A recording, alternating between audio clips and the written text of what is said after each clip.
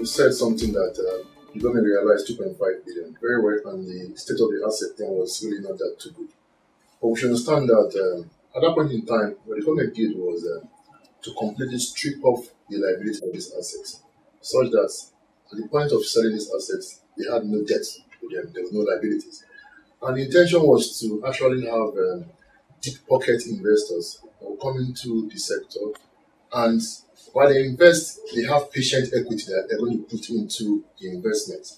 And uh, like you know, for the generation company, um, the, way was, the way it was sold was based on the, the, the highest bid.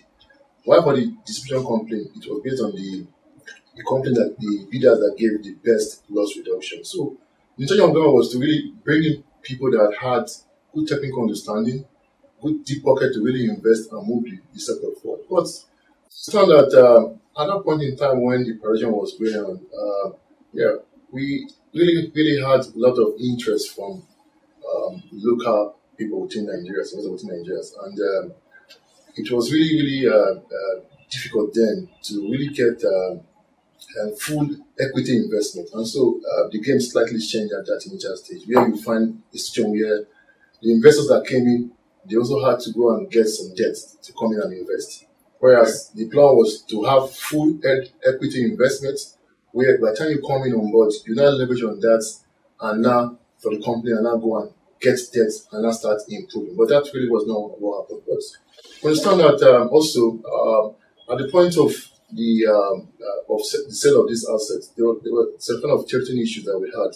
Things like um, there was some kind of conflict in terms of um, the uh, the loss um, levels that was used in the bid as against what was in the tariff that was used. So why the BP had about 35%, from the regulator side it was about 22, 23%. So from set it was clear that there was kind of mismatch. So when the asset was actually handed over to these new investors, from day one, it becomes very clear that the tariff that they had was not cost effective.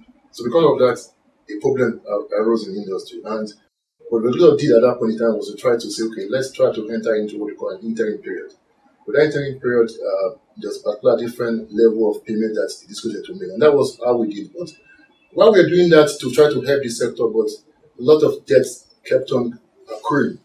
And uh, even if we understand the fact that the uh, there have been about three uh, different kind of uh, tariff um, increase in the sector, but the, the way it was done, and, and because of this debt that we're accumulating, so the, the, the discos on their own part started having a lot of debts accrued on their books, and they could not really pay off the uh, the, uh, the energy that they were being sold to. So this created a big problem within the industry. And if, to be honest, if you, if, if you look, look at what we have now, uh, from uh, if, you, if you look uh, from the inception of um, when, when we started when we started the, transition electricity market in February 2015 to date, the debt on the energy side of this is almost above 230 billion. So this is a very, very huge, big, big problem. But understand that why the government actually actually um, realized about 2.5 billion at the sales of these assets. We know that Nigeria sector has a lot of potential. There's that potential. We have we have the population, and even if you look at the amount that we have now, just for the 2016, if everything was to work the way it was supposed to work, the revenue that will come out from the distribution end for just one year is way above the 2.5 billion. So there's real serious potential here, but because of the accumulation of debt and things within sector, that's really why the cash flow is really, really, really very difficult at this time. But there's there's really the government is really doing a lot to see how they can really improve it so that we're able to have more investment and things can move forward.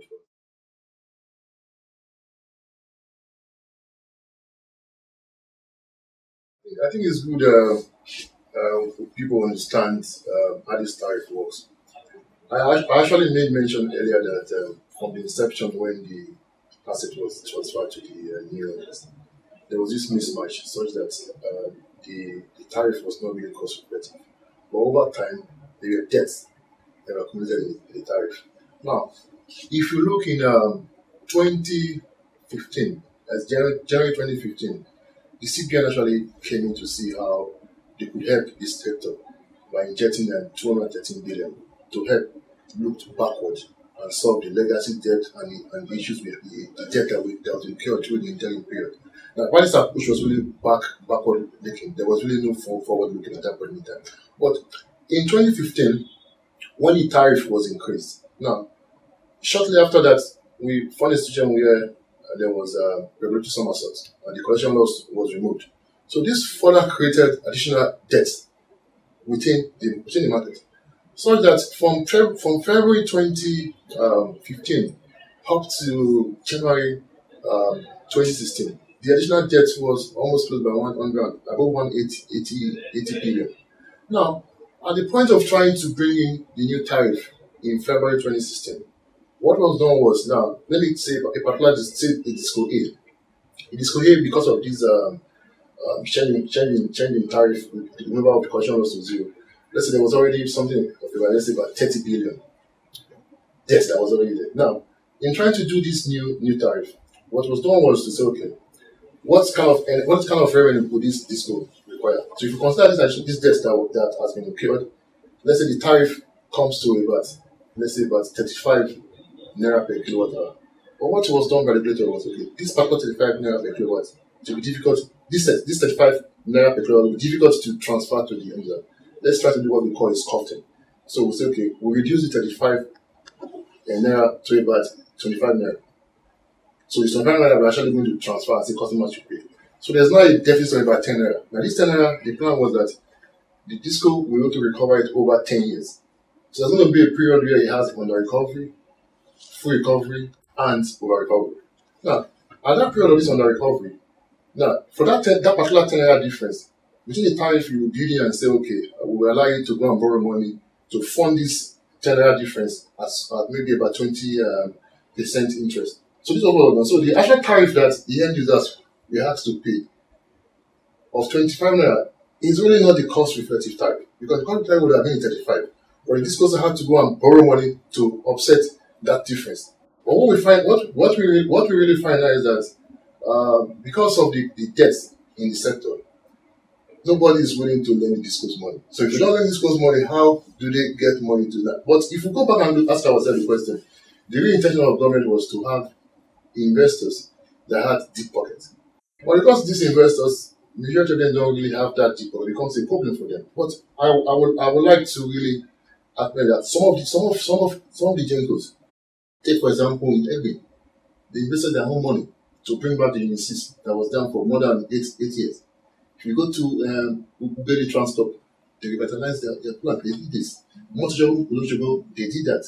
Even one of the discos I know of, I know of um, Eko, they had to have shareholders loan to try to help. So some have actually done this, but the extent to which the sector wanted this to help improve has we've not really gotten to that. That's partly due to the kind of debt we have in So people are really, really scared to really teaching money. That's why we are where we are today.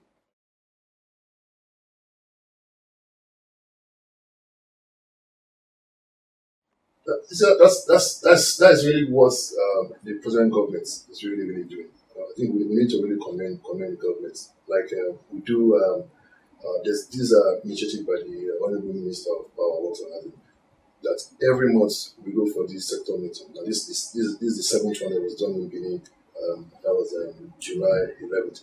Now, if in that meeting you see this, the push to make sure that the the discos they try to first of all do enough of their meter, meter so that people, the customers, will not feel that you're just estimating bills to us, and that will more or less change that to the people paying for their bills. Also, trying to make sure that all those places you have bottlenecks in terms of uh, uh, connection, uh, congestion, or interface, try to try to fix those problems try to also tell the, the discos you need to be communicate more of what you are doing because people out there don't at times don't really know what the discos are doing. So they need to be that communication. You also need also need to make sure that you also make sure that they, they send out numbers that customers can call them whenever they are, you have issues with, with your with, with your lights. So you can call them, they have to fix it in a particular short period. These are things that have been done, but these are really solutions for this uh, more like a uh, short term to really move. But the real actual problem we have within this sector we have a real financial problem. So the financial problem in, in, in that the intention of having the deep pocket investors, which we don't at the end we don't have. We don't we have people that came in that they're thinking that oh this is like the telecom business, I'll invest money today, I'll get it tomorrow. But in our business, when you invest money, you need to have it's more like it's more like patient equity. You need to wait there for some time before you start to yield money. But the intention they had was I invest today, I get tomorrow. So that's is that is really the problem I have. So but not trying to dwell on those problems. What the what the, what the government is doing now, try that's helped in short from what there's need to see how the liquidity problem in the sector needs to be fixed. Because when that is fixed, that is really what is going to drive investment into the sector. The structure that government was trying to do through MET, but for now, I think we've been asked to hold on by the National Assembly. I think they are carrying out an oversight. I think they will call people to come and really explain what do. That definitely is going to be done. But at the same time, I would say from the disco hands, it is high time they also try to now start not not grabbing their franchise.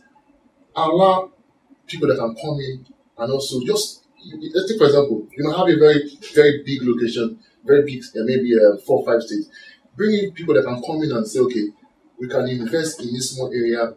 It can be an embedded generation. We can generate and allow us to go out there and start uh, investing in in in, uh, in uh, expanding your network, metering and things like that. So that will, will really help. But before such things can really happen, there's the need to see how this liquidity can improve to really help to promote such such investment. That's that's really what we think needs to be done. The discussion around, but they need to really release those things and allow things like also they, they should also think of maybe they want to dilute your shares so that people can come in that will have money to invest. But I understand that because of the situation of what the, the industry is now, uh, potential investors might be skeptical coming to to uh, to buy shares in, in Disco that they don't really think is very is a, is a very, very valuable. But there's real potential in Nigerian market. But there needs to be that catalyst to try to catalyze and let things start to move from negative to positive. Then people can now fully come in and start to invest, start to buy, maybe dilute their share. People, that's really what the sector really, really needs at this point.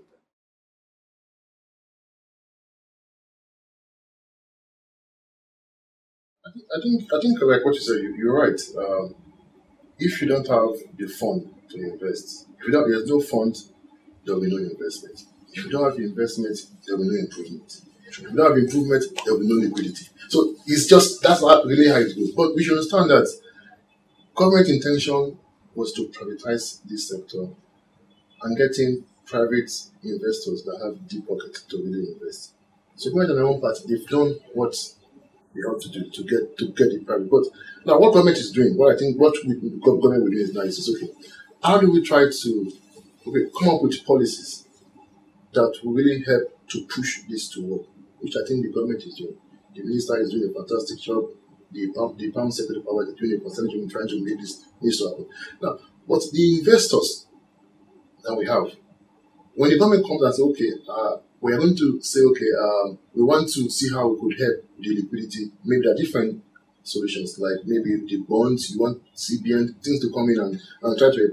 Government need to do that. But at, this, at the same time, there need to be incentives on this disco part.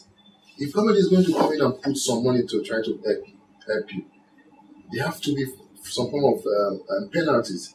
If at the end you don't perform, you might you lose your shares let the serious people that can come in to, to help, let them come in and, and do this. So these are things that's really into it. Now for the investors, the investors, as I, as I said earlier, most of them may be skeptical as to do, I, do we just come in and start investing? Look, they try to look and say, well, even if Nigeria has this potential of population, you, just like the telecom, you can really make the money, but they want to see how that movement from the um, the shortfalls we have, how you can start to move northward before they can really, really say, okay, let me come and start to, to invest. So government on its own part, yes, like I said, need to see how they can really help the liquidity, but also the, the investors starting of different initiatives.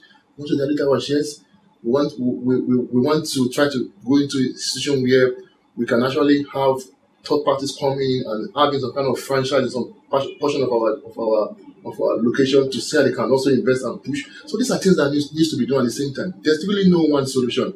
There are a lot of solutions that we need at this stage to quickly move because for, for government, government is doing what they need to do. And the power sector is one area that if we get it right, is going to really help us to improve other areas. The manufacturing area is going to move. You see, because of lack of power, a lot, of, a lot of companies tend to be moving to other areas. But when you when we get this power right, it's going to have a lot of magnifying multiple impacts on our economy.